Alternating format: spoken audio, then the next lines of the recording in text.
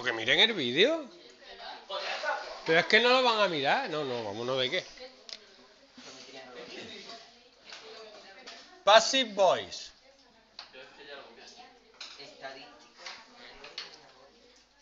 Lo copio otra vez.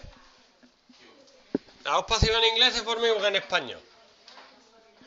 Yo leo un libro. O yo compro un libro. Que leo. Vamos a ver, presente el pasado simple, no. Un libro es comprado por mí. Esa es lengua, ya sabemos.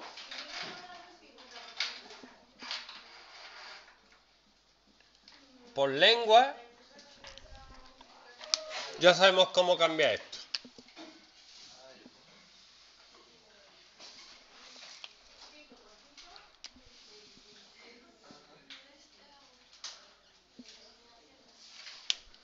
el sujeto de la activa es el complemento agente de la pasiva.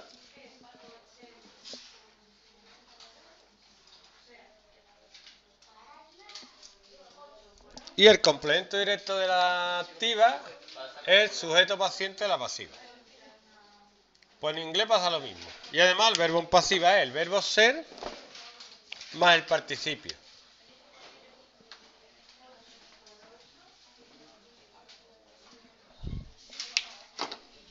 Entonces,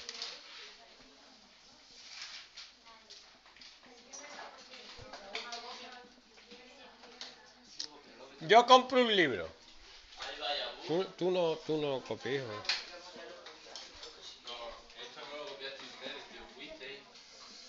Un libro es comprado por mí. Es de notar que esto tiene que ir en consonancia, el verbo to be, con el sujeto y el sujeto del libro. A book, he, it, it is bought by me. Y esto es el participio. Si fuera pasado, yo compré un libro.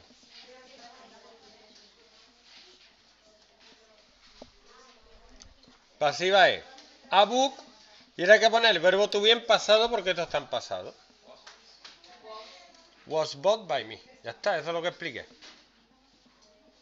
Es que no tiene nada. Si lo sabe en español, lo sabe en inglés.